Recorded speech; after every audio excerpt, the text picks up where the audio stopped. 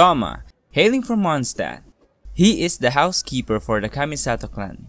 Friendly and approachable, Thoma fits in with the crowd easily wherever he is. At first glance, he seems to be a very easygoing person, but he is in fact very responsible.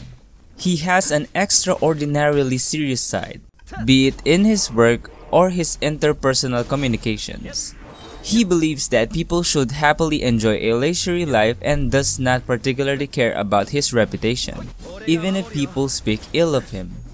He originally went to Inazuma to bring his father dandelion wine, but after falling overboard, he ended up in Inazuma with no connections and Mora.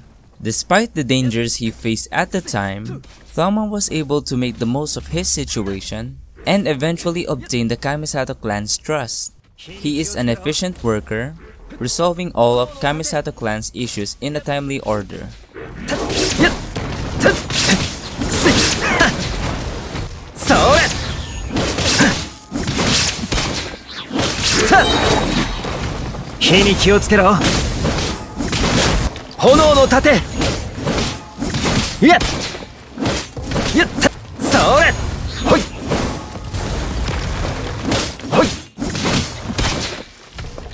やっそれ。やったほい5時の炎。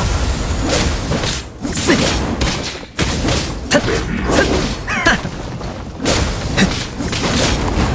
やっやった。火に気をつけろ。やっ。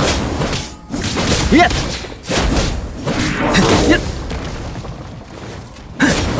ほい。火に気を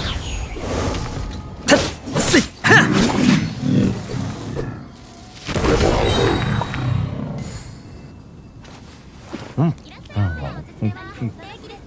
うん。うん。うん。